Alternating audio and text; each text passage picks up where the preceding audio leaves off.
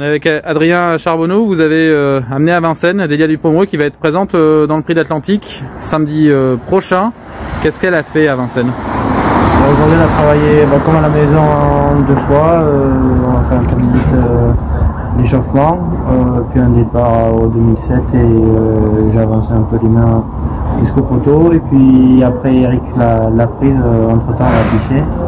Eric l'a prise et puis il a fait en 2007 et pareil il a lâché à 500 mètres euh, jusqu'au elle a fait un bon boulot, bien tonique. La jument relâché et puis tonique euh, plus dans son boulot qu'à la maison. Vous l'avez pas revu depuis Cagnes, elle va donc se présenter à Anguien avant d'aller en Suède. Oui, c'est ça, c'est ça, c'est une course de préparation, on a fait une course civilisée, on la prépare pour l'Atlantique. Et puis a bien récupéré de caille, elle a eu un peu de repos, euh, elle a repris de l'état et de la forme. Euh, ça va lui faire du bien de courir encore sur piste plate. on l'a vu euh, en piste et même revenir au box, elle avait l'air très bien. Ouais, ouais, ouais, ouais, très contente de, venir à Vincennes. Elle est bien mieux à Vincennes qu'à la maison, elle est plus, dans son boulot. Delia, elle, on va la voir dans l'Atlantique, elle a également laissé une bonne impression.